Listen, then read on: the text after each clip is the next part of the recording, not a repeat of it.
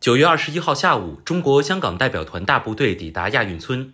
据了解，香港代表团约九百四十人，包括约六百六十名运动员，将参加足球、击剑、乒乓球等多个项目的争夺，参赛规模为历届之最。我现在就很很很兴奋，就现在就看到那个亚运那个运动员穿就很开心啊，啊，很高兴。我是第一次，尽尽力吧。对啊，然后不要太紧张。我觉得现在很开心吧，因为很少可以这么多运动员一起聚在一起。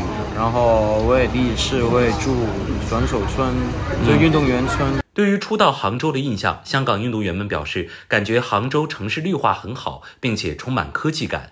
平时可能去上海啊、北京多一点，或者去去广州那边，对对对，可能杭州很多绿色的植物、绿化，嗯，很多，就是很漂亮啊，就是科技感很好。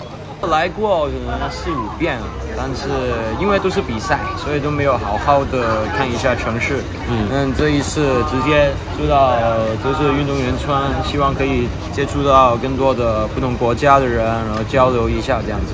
问及此次参加杭州亚运会的目标，于朗表示，相信此次参赛一定能让自己变得更厉害。嗯，其实目标我觉得是要学会更多吧。对，因为说真的，很多很多选手他们都很厉害。所以我觉得我过来这边肯定会变得更厉害。